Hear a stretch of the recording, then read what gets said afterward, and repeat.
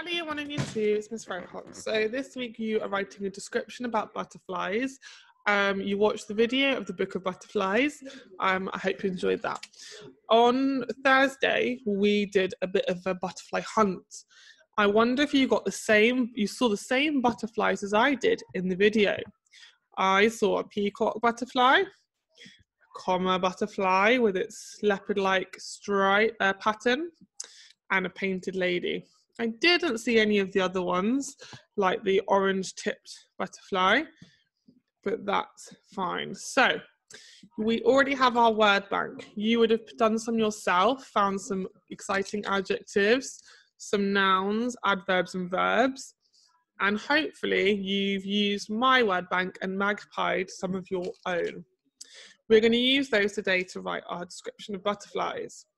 So, in the description, I want to include expanded noun phrases, which means we're using adjectives, commas for a list, so that's where we have our commas, exciting adverbs, here they are, factual language, probably some of these nouns, and we've got a challenge, which is a metaphor. So I've already written the title of my description, butterflies. I've got a capital letter and I've underlined it. So um, let me think of my first sentence. Um, I'm just going to keep it quite simple. Butterflies are, hmm, what are they? Let me maybe use an adjective. Are stunning. I like that word. Stunning creatures think I might use an adverb here saying had to say how stunning. I like this one here, incredibly. Another word for very. Let me read my sentence. Butterflies are incredibly stunning creatures. Great, I've already used an adverb. My sentence makes sense and I've got my punctuation. Um, I'm just going to carry on introducing butterflies. And I now know there are lots of different types. Um, and I might list the different types of butterflies I now know. So there are many different types of butterflies. Like the let me go back to my sheet. Oh, it's this one here. I know the name of that one. It was the peacock butterfly. Peacock, and it's a name, so it's going to start with a capital letter. Like the peacock. What's my list going to be? Peacock, comma. That was another one. Comma, butterfly. Painted lady. And the orange tipped.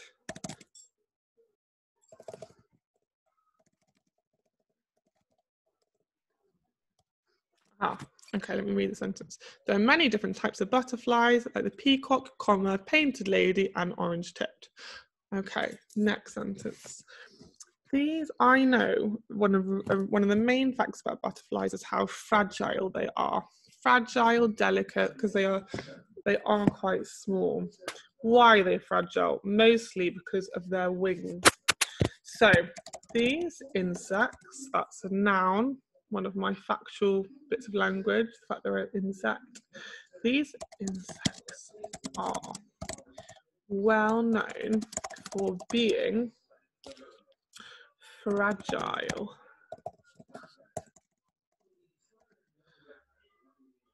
Mm, how fragile.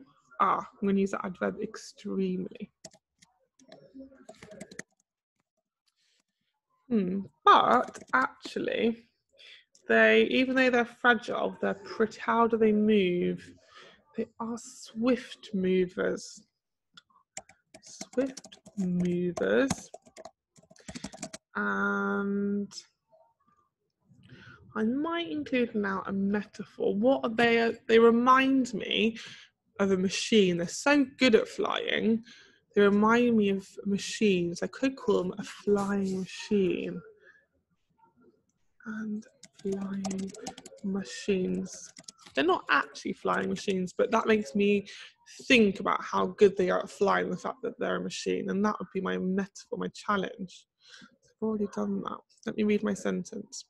These insects are well known, missing letter, well known for being extremely fragile but swift movers.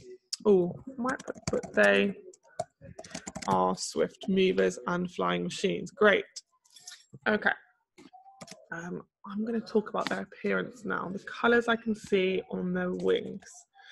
Some are particularly bright, and that was that word vivid, but some are not. So, most colourful butterflies are, I might say they're spectacular. How spectacular? Particularly, particularly spectacular. That's an adverb.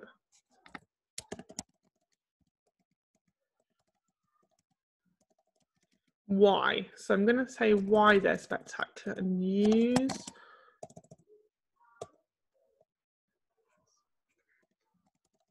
a conjunction because because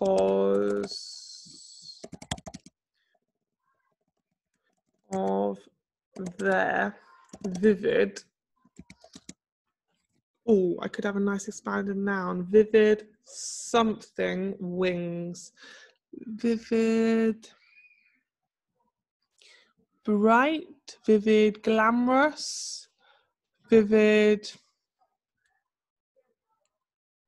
Attractive. Oh, I like that. Vivid, attractive wings. Let's read the sentence. The most colourful butterflies are particularly spectacular because of their vivid, attractive wings. Okay, I think I might have one more sentence, and I'm going to talk about the butterflies that aren't so bright, but they do have those lovely patterns. I can see this has got like a um, brown with an orange dot. So, hmm, other butterflies can have a dull, that means, oh, that was on my word bank. Dull. Um, dull can have more dull, what the word striped or spotted, dull, spotted patterns covering them. Why do they have that? Hmm, I got the word camouflage, and I know that and um, that I know that sometimes animals are not very bright because they don't want to be seen.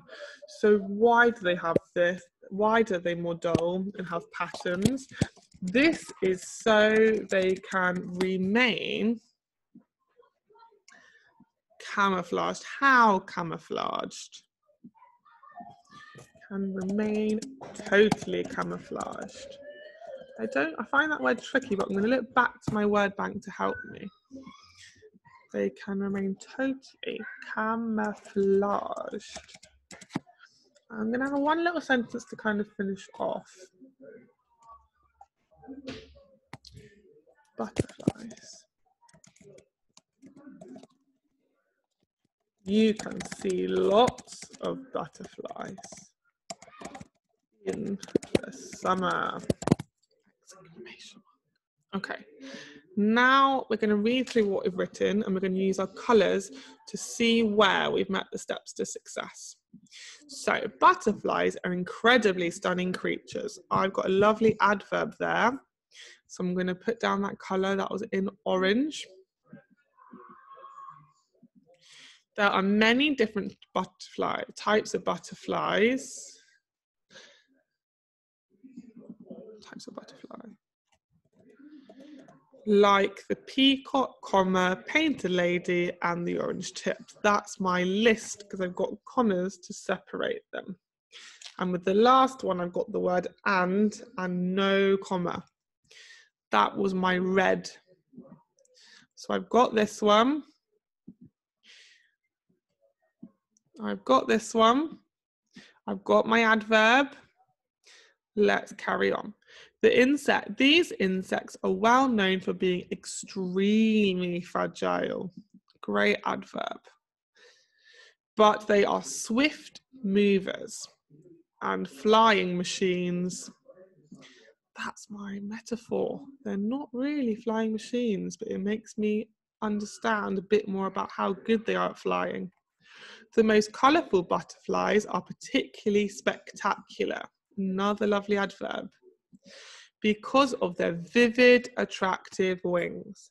Vivid, attractive wings. That's my two adjectives to describe a noun. So that's my expanded noun phrase. That's in green. Other butterflies can have more dull, spotted patterns. Another great expanded noun. Covering them. This is so they can remain totally camouflages. Oh, that doesn't sound right. Camouflaged. Another lovely adverb. I don't think maybe I don't need all four. I'm I think maybe four adverbs would be too much. I'm gonna take that one out. I can't be using them too much because otherwise it doesn't flow so well. This is so they can remain camouflaged. I like it. Simple sentence. You can see lots of butterflies in the summer. Nice exclamation mark. Okay, so the only thing I haven't ticked is factual language, but I know that camouflage is an important word that's to do with butterflies. So that is factual language. I also know the word insects. Insects is factual. Those it's talking about things that are true. And I've also spoken about their wings. Um, and I've spoken about the different types and I know those are true because I've seen that in that video and I've done my research. So I have included factual language for my steps to success. Right, so year two, you should have now done, you should now be writing your first part of your butterfly description. Tomorrow, we're going to write a bit more about butterflies. We're going to talk about how they move and more about the different parts of their body. I can't wait to see some of yours please send me some pictures of your writing.